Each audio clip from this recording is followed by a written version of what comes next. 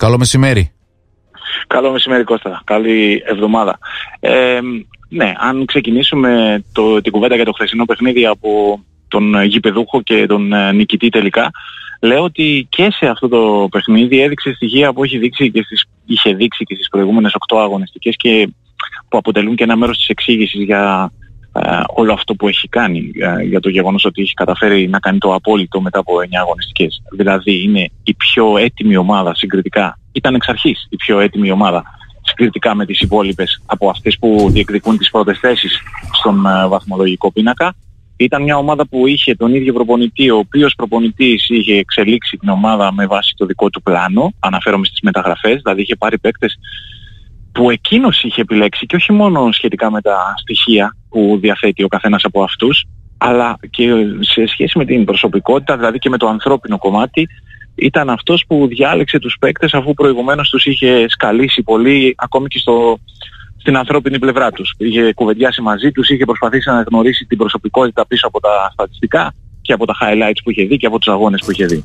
Άρα είναι μια ομάδα που σχετικά σύντομα ξανά γίνει η δική του ομάδα, αναφέρομαι σε σχέση με, την, με το αγωνιστικό μοντέλο, με τις αρχές που έχει στο παιχνίδι του Παναθηναϊκός, παρόλο που έχει καινούριους ε, ποδοσφαιριστές. Θα πω για παράδειγμα ότι χθες την καλύτερη ευκαιρία που δημιουργεί στο πρώτο ημίχρονο, η οποία καταλήγει σε ένα σουτ του Μπερνάρ που το ναι. αποκρούει με πολύ, μια πολύ καλή απόκριση ο κουεστα είναι μια επίθεση τυπική του περσινού Παναθηναϊκού, η οποία μέσα από το passing game, σε αυτό το παιχνίδι τοποθέτηση που παίζει ο Παναθηναϊκός, επιδιώκει να φέρει τον ε, Χουάνκαρ είτε μόνο του είτε μόνο με έναν αντίπαλο για να μονομαχήσει και να καταφέρει να τον τριπλάρει ή να του περάσει τη σέντρα χωρίς να αντιμετωπίσει πρόβλημα. Εχθές αυτό ο, εκτελέστηκε από έναν καινούριο παίκτη του Παναθηναϊκού, τον Τσέριν.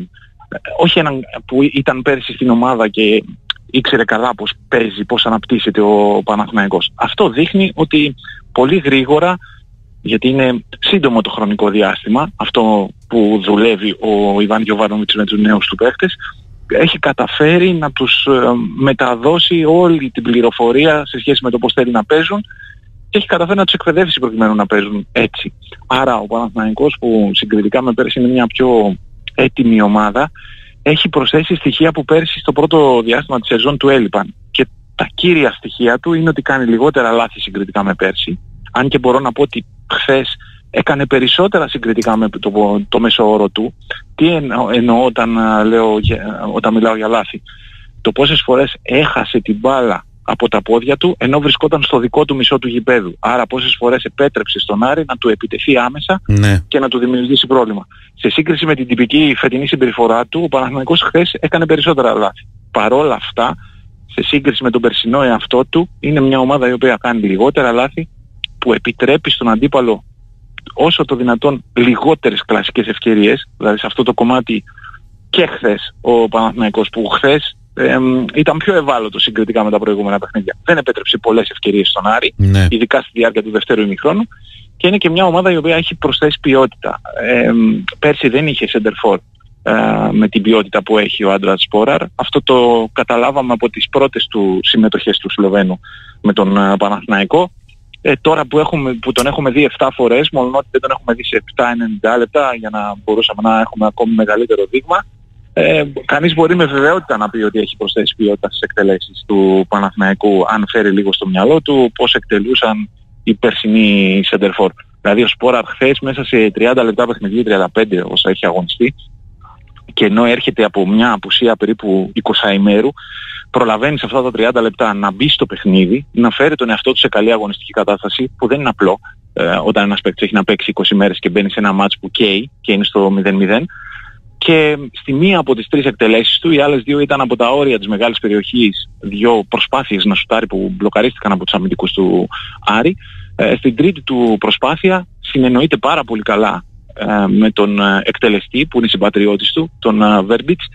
Κινείται σε ε, αντίθετα από την εντολή που έχει δώσει ο προπονητής του, γιατί ο προπονητής του, του έχει πει να κινηθεί στο πρώτο δοκάρι και να το ψάξει εκεί ο Βέρμπιτς, ο Σπόραρ διαβάζει την τοποθέτηση των παικτών του Άρη, εκτιμά ότι είναι μεγαλύτερες οι πιθανότητες να βρει τον χώρο στο δεύτερο δοκάρι, κάνει πίσω βήματα, δείχνει στο Βέρμπιτς που θέλει την μπάλα και τελικώς κινείται εκεί. Και επειδή αυτή είναι μια συζήτηση που αφορά και τον Άρη και κάνουμε κουβέντα και και διαβάζω και ακούω έναν προβληματισμό πολύ έντονο Ναι, σχετικά όντως. με το πώς συμπεριφέρεται ο Άρης στις στατικές φάσεις.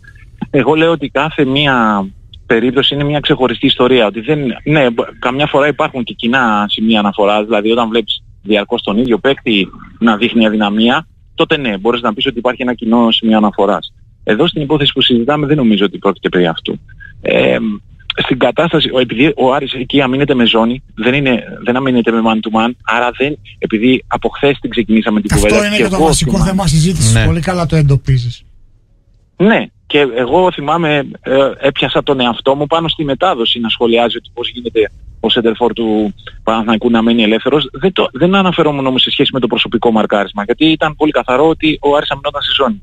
Αυτό όμως που ήταν επίσης καθαρό ήταν ότι αυτός που βρισκόταν εκεί, ο τελευταίος της ζώνης, ε, που ήταν ο Νταμπό, θα έπρεπε να έχει διαβάσει την κατάσταση, δηλαδή ότι ο Σέντερφορ κινείται, να έχει τσεκάρει, να τον έχει δει ότι κινείται προς το δεύτερο δοκάρι και άρα εκείνος ο ίδιος να είναι σε εγρήγορση, σε μεγαλύτερη εγρήγορση Βασίλη. συγκριτικά με αυτή στην οποία βρέθηκε. Εμείς Ναι. από το σπίτι με το τηλεκοντρόλ και τα τεχνολογικά μέσα, εν πάση περιπτώσει που υπάρχουν πια στη διάθεση και κάθε συνδρομητή ψηφιακής πλατφόρμας, μπορούσαμε ακόμη και να παγώσουμε την εικόνα εκείνης της φάσης ε, που τελικά έκρινε αυτό το παιχνίδι. Μμμ. Εάν θα βρεις το χρόνο να το κάνεις, θα το δεις και εσύ ότι πριν κάνει το, το χτύπημα ο Βέρμπιτς, ο Άρης έχει πέντε ποδοσφαιριστές μπροστά. στο πρώτο δοκάρι Ναι. που επιτηρούν τρεις του Παναθηναϊκού και στην, Γιατί πρα- έχουν καταλάβει ότι εκεί- εκεί θέλει να παίξει ο Παναθηναϊκός. και στην ναι. πραγματικότητα δύο ποδοσφαιριστές στο δεύτερο δοκάρι που επιτηρούν δύο του Παναθηναϊκού και τρεις για να γίνουν πέντε το έχουν πάρει χαμπάρι και κινούνται μεταξύ αυτών και ο Σπόραρ Ναι. στο δεύτερο δοκάρι. Αυτό είναι. Ναι, ναι, συμφωνώ. Ακριβώς εκεί είναι που, που κανείς πρέπει να εστιάσει και γι' αυτό είπα ότι ήταν μία στιγμή αδυναμίας για την άμυνα του Άρη. Γιατί, γιατί εκείνη δεν διάβασε αυτή την κατάσταση. Ενώ η επιθετική και ειδικά ο Σπόραρ τη διάβασε, ο Σπόραρ κάνει πίσω βήματα, δεν, δεν θυμάμαι τώρα πόσα είναι, να είναι πέντε, να είναι έξι. Ακριβώς γιατί στο πρώτο δοκάρι έχει δει το συνοστισμό.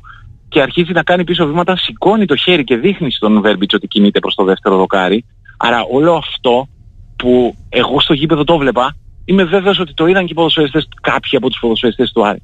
Αλλά για εμάς που παρακολουθούμε το παιχνίδι με, ξέρω εγώ πόσους να πω τώρα, 80 σφυγμούς, 60 σφυγμούς, ανάλογα το πόσοι, πόσο μας έχει ακουμπήσει η ένταση του παιχνιδιού, είναι εύκολο να δούμε και το, το μυαλό, τα μάτια να τη δώσουν την πληροφορία στο μυαλό και το μυαλό να μας δώσει την πληροφορία ότι όπου εδώ δημιουργείται ένα κενό. Για τους πο- ποδοσφαιριστές δεν είναι τόσο απλό. Δεν λέω ότι πρέπει να δει αυτή τη φάση ο Άλαν Πάρτιο και να πει δεν πειράζει παιδιά, είχατε 200 φυγμούς, δεν το διαβάσατε καλά. Προφανώς είναι αντικείμενο προβληματισμού αυτό. Αλλά λέω ότι από την άλλη πλευρά για μια ομάδα η οποία έχει αποδώσει μέχρι εκεί στη φάση άμυνας υπερβατικά συγκριτικά με τα προηγούμενα παιχνίδια και για μεγάλο διάστημα, δηλαδή όχι για ένα ημίχρονο. Εγώ έλεγα ότι πρώτο ημίχρονο στον καιρό του Πάρντιου και αυτό ήταν το πέμπτο παιχνίδι. Δεν είχα δει τόσο καλό και τόσο ισορροπημένο. Γιατί υπάρχουν μάτς τα οποία ο Άρης έκανε πάρα πολύ καλά πράγματα στη φάση της επίθεσης. Αλλά δεν ήταν τόσο καλός στη φάση της άμυνας. Εγώ λέω ότι εχθές απέναντι σε μια πολύ επικίνδυνη ομάδα, μια από τις κατά τεκμήριο πιο επικίνδυνες ομάδες, στην έδρα της, δηλαδή στη Λεωφόρο, ο Άρης είχε πάρα πολύ καλή ισορροπία στο πρώτο ημίχρονο. Και μπορώ να πω ότι μπορεί αριθμητικά να ήταν, ξέρω εγώ, μία, δύο ευκαιρίες λιγότερες στο πρώτο ημίχρονο. Λέω όμως ήταν πάρα πολύ ποιοτικές οι ευκαιρίες που είχε ο Άρης. Δηλαδή δεν ήταν ότι απλώς έκανε κάποιες επιθέσεις βασιζόμενος στην ταχύτητα και στην ατομική ποιότητα ενός παίκτη και κατάφερε να γίνει αθλητικός. Άλλοτε τα κατάφερε επειδή πρέσαρε σωστά και πήρε την μπάλα στο αντίπαλο μισό. Άλλοτε τα κατάφερε επειδή ε, ε, συνδυάστηκε σε γρήγορο, σε υψηλό ρυθμό.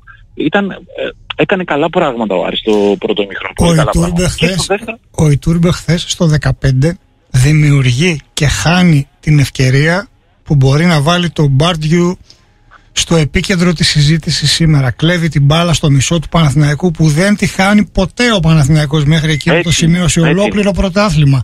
Διεμβολίζει ε, το μισό γήπεδο και την κρίσιμη στιγμή δεν βλέπει το Ζερβινιό που έχει ένα εύκολο τελείωμα να του περάσει την μπάλα με ένα, με ένα πλασεδάκι και να κάνει 0-1 στο 15 δεν μπορώ να φανταστώ ε, ότι περίμενε καλύτερο τρόπο ο Πάρντιου για να δει την ομάδα του να σκοράρει χθες έχοντας στήσει έτσι μεσοαμυντικά τον Άρη.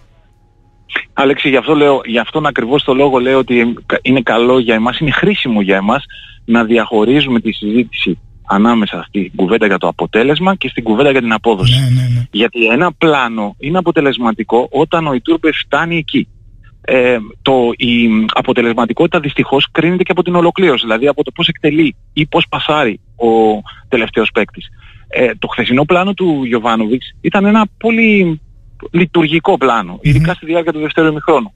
Αν όμως ο Βέρμπιτς με τον Σπόραρ δεν είχαν συνεννοηθεί τόσο καλά και δεν είχαν κυρίως αποφασίσει μόνοι τους να αλλάξουν το πλάνο, Ναι, γιατί ναι, η ναι. εντολή είναι ε, Σπόραρ Κάτι πήγαινε άλλο. στο πρώτο δοκάρι, ναι, αλλά ο προπονητής, και αυτή είναι και η πεμπτουσία της προπονητικής θεωρητικά, αυτό διδάσκονται οι προπονητές στις ε, σχολές προπονητικής, ότι πρέπει να εκπαιδεύουν τους ποδοσφαιριστές προκειμένου αυτοί να λαμβάνουν τις σωστές Σωστή αποφάσεις. απόφαση, ναι. Άρα αυτή η απόφαση που παίρνει ο Σπόραρ και ο τρόπος με τον οποίο συνεννοείται με τον Βέμπιτς ε, είναι για να, πώς να το πω, να ανοίξει με ένα καλό μπουκάλι κρασί ο Ιβάν Γιωβάνοβιτς όταν θα το βλέπει όλο αυτό και να καμαρώσει που έχει ποδοσφαιριστές με αυτή την ποιότητα που βγαίνουν από το σενάριο εντός εισαγωγικών επειδή ακριβώς αυτό ζητάει η στιγμή να κάνουν.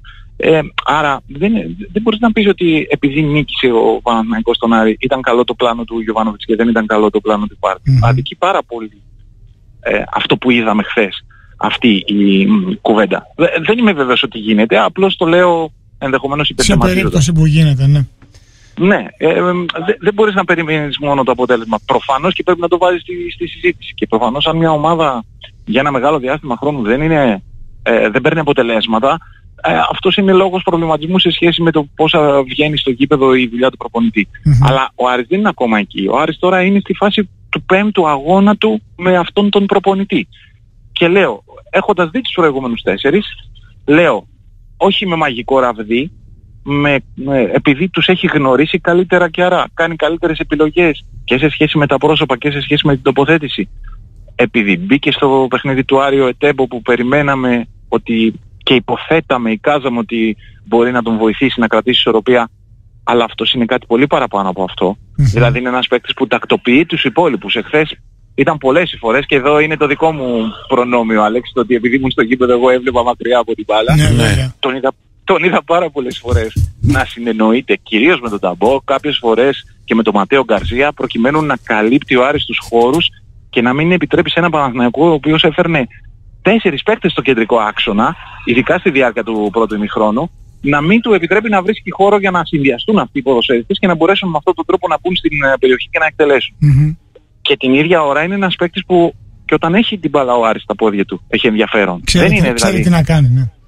ναι, και, και δεν είναι το. και άλλοι ε, ε, αμυντικοί χαφ ξέρουν τι να κάνουν και έχουν και ψηλή ακρίβεια στις μεταβιβάσεις, γιατί παίζουν μια πάσα δίπλα τους και ο προπονητής τους επενεί όταν η πάσα δεν είναι μόνο δίπλα και είναι και προς τα εμπρός, αλλά πάλι σε λίγα μέτρα, μια κοντινή μεταβίβαση. Ε, θυμάμαι ας πούμε έναν που έχει κάνει πολύ καλή καριέρα στην ε, Ελλάδα, τον Σιμόες με την ΑΕΚ, Ναι. ο οποίος δεν μπορούσε Πίσω να και κάνει κάτι πλάγια, παραπάνω πίσω από και αυτό. πλάγια. Ακριβώς. Και έφτασε να καλείται στην Εθνική Πορτογαλίας με, με Ναι. αυτό το παιχνίδι. Άρα, ε, πώς να το πω, αντικειμενικά ήταν κάποιος που α, επιτυχημένα κάλυπτε το ρόλο. Μμμ. Αλλά δεν μπορούσε να είναι ισορροπημένος γιατί δεν είχε τις δεξιότητες για να μπορέσει να σημαδέψει μακρύτερα, να παίξει μια ποιοτική πάσα που θα περάσει μέσα από μια α, αμυντική γραμμή και θα βρει έναν παίκτη ε, σε ελεύθερο χώρο για να επιτεθεί. Ο Ετέμπο μέχρι εδώ, που είναι λίγα αυτά που έχουμε δει, αλλά σε σχέση με τις τεχνικές του δεξιότητες, αυτά που έχουμε δει είναι ενδεικτικά. Δεν μπορεί ένας παίκτης που είναι άμπαλος ε, να κάνει μια καλή διαγωνία Έτσι, μετάβαση έτσι, με ακρίβεια. δεν είναι ότι του Σωστό. βγαίνει μια φορά και δεν θα του ξαναβγεί ποτέ Έτσι. ή ότι την κάνει με το καλάμι και απλώς βρήκε, έτυχε να βρει παίκτη επειδή στο πότη το είπα υπέρ του. Είναι ένας παίκτης που φαίνεται ότι έχει ισορροπία. Λέω, χάρη σε αυτόν. Θα πω και χάρη στον Ενκουλού γιατί νέος είναι, δεν έχει παίξει πολύ. Στα δικά μου μάτια χθες το διαχειρίστηκε πολύ καλά το παιχνίδι. Σκάω από Δεδομένη. περιέργεια να μάθω αν θα μπει στον πειρασμό ο Παρντιού να παίξει με δίδυμο Μπράμπετς Ενκουλού. Ε, λογικά σε κάπου, έστω και σε διάστημα αγώνα θα πρέπει να το δοκιμάσει αυτό γιατί θα πρέπει να το δει. Σίγουρα θα το βλέπει και στις προπονήσεις. Γιατί δεν έχει πάρει Ε. ανάσα από πέρσι πρώτη αγωνιστική ο Φαμπιάνο, ε. Έχεις δίκιο, έχεις δίκιο. Και φαίνεται ότι τώρα ο Εγκουλού τη δίνει αυτή, το δίνει αυτό το, την ευχέρεια, το προνόμιο, το πλεονέκτημα στον Άρη, άλλωστε και αυτό τον απέκτησε και ο Άρης, για να έχει ακόμη έναν που να στέκεται σε αυτό το επίπεδο. Εγώ λέω ότι χθες ήταν ένας παίκτης εντεκάδας για οποιαδήποτε ο, Ενκουλίου, ο Ενκουλού με αυτή την ε, συμπεριφορά που είχε. Και δεν αναφέρομαι μόνο στις επεμβάσεις του, αναφέρομαι και σε, σε σχέση με το πώς διαχειρίστηκε το παιχνίδι ο ίδιος και συναισθηματικά. Δηλαδή ήταν από αυτούς που έβγαλαν τη μεγαλύτερη επιθετικότητα και πίεση στο δεύτερο ημίχρονο ναι. σε ένα διάστημα παιχνιδιού που ο Άρης δοκιμαζόταν. Γιατί ο Παναθηναϊκός κρατούσε την μπάλα, τον, τον πίεζε, τον έκλεινε και ήταν δύο-τρεις υποδοσφαιριστές του Άρη που προσπαθούσαν να βγάλουν επιθετικότητα, να γίνουν πολύ πιεστικοί, να κάνουν επιθετικά μαρκαρίσματα στην μπάλα για να δείξουν στον αντίπαλο ότι δεν τους έχει βάλει από κάτω και αυτός ήταν ένας από αυτούς. Και όταν το κάνει αυτό στον πρώτο του καιρό ε, στον Άρη, προφανώς κανείς μπορεί να περιμένει ένα παιδί που είναι τόσο έμπειρο να συνεχίσει να το κάνει αυτό με συνέπεια. Βασίλη, ξέρω ότι, δεν σ' αρέσουν. Πολλά καλά. Ναι, ξέρω ότι δεν σ' αρέσουν οι υποθέσεις, αλλά θα μπω στον πειρασμό γιατί ακούω πάντα με ενδιαφέρον την ανάλυση σου και το σχόλιο σου ε, στη στόχευσή του. Λέει η λογική, ένα μάτς σβήνει στο 0-0, έχουμε μπει στο τελευταίο δεκάλεπτο και ο Παναθηναϊκός είναι σοκαρισμένος γιατί χάνει την ατμομηχανή του με έναν τραυματισμό σοκ. Φεύγει από το γήπεδο ο Αϊτόρ. Γιατί δεν μπήκε στον πειρασμό ο Πάρντιου να πει θα βάλω το Μανού με το κράτημα μπάλας που έχει να μου τελειώσει το μάτς. Ναι, θα μπορούσε. Προ, προφανώς θα μπορούσε. Και αν το είχε κάνει, ε, ακόμη και αν δεν είχε φέρει αυτό αποτέλεσμα, ε, πώς να το πω, θετικό σχόλιο, θετικά θα πρέπει να σχολιάσει κανείς την ε, δική του νοοτροπία. Δεν λέω με αυτό ότι προσπάθησε να γυρίσει την ομάδα του πίσω. Και OK, okay, η αλλαγή που κάνει με τον Πίρσμαν είναι ναι. η βάση των καθυστερήσεων ενδεχομένως και για, προκειμένου να αμυνθεί σε δύο στατικές φάσεις ναι, ο Άρης καλά. το απαντάς και μόνος στο ότι βγαίνει κοντός, μπαίνει ψηλός, φτάνει. Δηλαδή ναι, δύο ναι, κόρνερ ναι, και ναι. δύο σέντρες έχεις να αντιμετωπίσεις, θα το κάνεις ναι. αυτό. Ναι. Ε, πι, πιθανόν ε, δεν, ε, ξέρεις, προσπαθώ να μπω λίγο στο μυαλό του Πάρτιου γιατί η νοοτροπία του στο χθεσινό παιχνίδι ήταν νοοτροπία νικητή. Δεν τον εβαλε τον Άρη μέσα για να αμυνθεί, τον έβαλε για να είναι ισορροπημένος ναι, ναι, και ναι. για να ψάχνει να βρίσκει τον τρόπο του να γίνεται απειλητικός. Δηλαδή τον έβαλε να κάνει το παιχνίδι του πρώτου ημιχρόνου. Το γιατί δεν μπόρεσε να είναι το ίδιο απειλητικός και στο δεύτερο ημιχρόνο ε, η συζήτηση είναι σχετική και με το πόσο πίεσε ο Παναθηναϊκός και με τη ρίσκα προσπάθησε να πιέσει και σχετική με το πόσο ο Άρης μπορούσε να διαχειριστεί και τις δυνάμεις του στις εντάσεις που έπαιξε το παιχνίδι και το πόσο μπορεί να το κάνει αυτό όταν του λείπουν τόσο σημαντικοί ποδοσφαιριστές σαν τον Μαντσίν. Άρα ο, ο, ο, ο Παναθηναϊκός έφερε από τον πάγκο παίχτες που τον βοήθησαν για τον Άρη δεν μπορείς να πεις το ίδιο σε σχέση με, την, με το πόσο απειλητικός ήταν στο δεύτερο ημίχρονο ή πιο σωστά με το πόσο απειλητικός δεν ήταν στη, στη διάρκεια του δεύτερου ημίχρονου. Νομίζω ότι αυτό ο πιθανόν να τον δούμε να το κάνει όταν θα έχει η ομάδα η ίδια κερδίσει την εμπιστοσύνη του. Όταν δηλαδή μπορεί να της το εμπιστευτεί αυτό ότι εκεί που έχει χτίσει ε, το 0 και σε δύσκολες συνθήκες στο δεύτερο ημίχρονο ότι αν εκείνος κάνει μια τακτική μετατροπή και δώσει λίγο ένα ε, πώς να πω, κάτι παραπάνω στο επιθετικό μέρος ότι εκείνη δεν θα χάσει την ισορροπία της. Ε, Φυσικά πρέπει να τα ζητάμε από τους προπονητές, απ' την άλλη τώρα στο πέμπτο παιχνίδι κάποιου που παίζει στη Λεωφόρο απέναντι στον Παναθηναϊκό που έχει αυτή τη δυναμική και με αυτόν τον ενθουσιασμό, ε, ξέρεις, λες ναι, θα ήταν πολύ καλό να το είχε κάνει, αλλά απ' την άλλη δεν μπορείς να μπεις τώρα στη διαδικασία να, να πεις, να του βάλεις κακό βαθμό ας πούμε που δεν το τόλμησε. Άλλωστε είναι γνωστό ότι πάντα ο καλύτερος παίκτης είναι αυτός που δεν παίζει σε έναν αγώνα. Ναι, ναι, έτσι, δεν συμφωνώ. Αλήθεια είναι αυτό. Πάντως πρέπει για να κλείσω με αυτό, ε, θέλω να πω ότι ήταν από τα πιο ωραία παιχνίδια που έχω δει τον τελευταίο καιρό στο ελληνικό πρωτάθλημα. Με ποια έννοια το λέω, ότι ήταν σε ένα γεμάτο γήπεδο. Προφανώς θα ήθελα να είναι και ο Παδί του Άρη και θα ήταν καλύτερη εικόνα. Δηλαδή η αντίστοιχη περσινή συνθήκη με αυτό εδώ το παιχνίδι, αυτός ο συνδυασμός θα ήταν ο ιδανικός. Αλλά από την άλλη την πλευρά δεν μπορώ να, να μην πω ότι σε ένα πρωτάθλημα που εμείς οι ίδιοι ε, εξορισμού έχουμε αρχίσει και χαμηλώνουμε τον πύχη των προσδοκιών μας, όταν βλέπεις δύο ομάδες να παίζουν τόσο καλά, το, με τόσο επιθετική νοοτροπία, ε, ειδικά το, το πρώτο μήχρονο το λάτρεψα, μου άρεσε πάρα πολύ ε, το παιχνίδι. Ε, και το βλέπεις αυτό σε ένα γεμάτο γήπεδο, ε, λες έχω περάσει πολύ καλά. Ναι, Ήταν ε, πραγματικά ένα πολύ ωραίο παιχνίδι. Βασίλη, σε ευχαριστούμε. Ανανεώνουμε το ραντεβού μαζί σου αύριο. Ότι ναι, να πω ότι μαζί μας ήταν και σήμερα το Isoflex PU 500, το στεγανοποιητικό ταρατσόν από την Isomat και βέβαια αύριο θα κουβεντιάσουμε για ΠΑΟΚ. Καλό μεσημέρι Βασίλη. Καλό μεσημέρι.